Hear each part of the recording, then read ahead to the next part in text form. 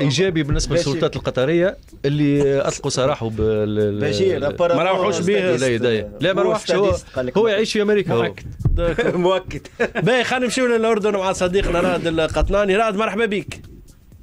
أهلا وسهلا بكم. أسعد الله مساءكم بكل خير. شحوالك خويا شحوال فلسطين الأردن الاشقاء الكل لاباس الحمد لله الحمد لله. إن كانت تونس بخير فكلنا بخير. يعطيك الصحه خويا ربي فضلك. يعطيك. سؤال اذا كيفاش جات الفكرة أنه ترسم الصورة هذه رأت؟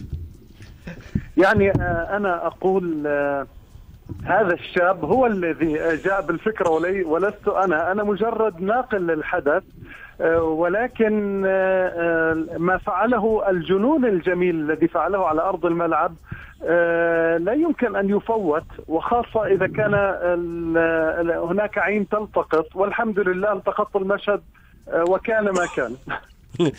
رأت شو وقع الصورة هذه؟ لدى الأشقاء الفلسطينيين الأشقاء أيضا الأردنيين بما أنك أنت موجود في, في الأردن هل لقت استحسان أشقائنا الموجودين معك أو اللي تعرفهم على الأقل وأيضا مواقع التواصل الاجتماعي في فلسطين؟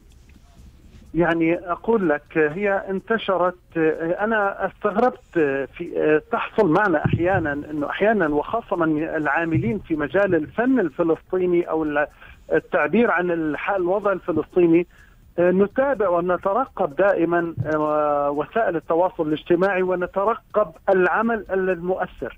هذا من الأعمال الذي أذهلني حقيقة حقيقة أذهلني سرعة انتشار بشكل غير مسبوق بالنسبة لأعمالي، أنا والحمد لله من الأعمال الم... أعمال معروفة ومنتشرة وخاصة أعمالي الفنية.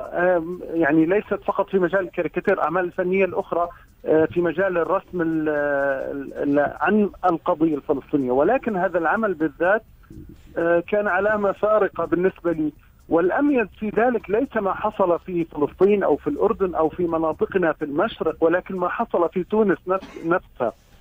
آه يعني أنا آه فوجئت إنه آه الانتشار كما يقال في المثل العربي انتشار النار في الهشيم. انتشر في تونس مئات طلبات الصداقة أتتني بشكل مفاجئ. كان له صدى عجيب حقيقة. ما فعله الشاب ليس بالقليل. وكما قلت العمل كان مؤثر والتوقيت مناسب فكان له الأثر الكبير في الانتشار الكبير والحمد لله. وكان ديما سامي رائد سامي بن مسعود معنا في الاستوديو عنده تفاعل. فقط سامي السيد هبط للتيران يضحك عمل شو؟ حركات إيش يقولوا لهم هما؟ أكروباتيك. جمباز. حركات بهلوانية. عمل بعض الحركات يضحك. شيخ ما عنده حتى إشكالية. ولو أنه كانت اللقطه هذه تنجم تحرمه من حريته لمدة من الوقت. كان تنجم كان تكون طويلة. كان كما المشجع اللي نزل في مباراه من المباريات الأخرى. الحركة غير أخلاقية يقولوها. لكن الشاب التونسي يمكن الحركة لاقت استحسان الجميع رائد. بالنسبة للفلسطينيين أو في على مستوى العالم الكل. بالنسبة بالنسبة لك أنت كرسام كيفاش تفاعلت وكيف تفاعلت مع المباراة والانتصار التاريخي لمنتخب تونس على فرنسا؟ يعني هي افلجت قلوبنا وصدورنا جميعا. يعني نحن يعني عندما تنتصر نحن نبحث عن انتصار أي انتصار بصراحة. نحن العرب للأسف ومنذ زمن طويل لسنا فقط في كفلسطينيين وإنما كعرب بالإجمال نحن دائما تحت المطرقة، دائما تحت المطرقة، نبحث عن نصر ولو معنوي قليل، هذا النصر التونسي صحيح أنها خرجت من كأس العالم ولكن هذا النصر وكأنها نالت كأس العالم.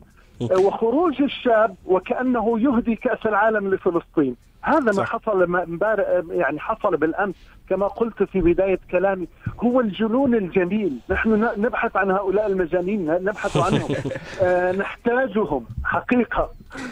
رائد سؤال أخير فقط. الاختيار على حذاء صلاح الدين. هكاك في الصورة هل هو اختيار اعتباطي ام عنده رمزية في الصورة نتاع المشجع لا لا لا, لا في الصورة الأصلية أو في في في ثياب الشاب الأصلي هو يلبس حذاء رياضي عادي. بالضبط. ولكن بحثت عن الحذاء اللي المنتشر في في المغرب العربي أو في دول المغرب العربي. البلغة. القديمة.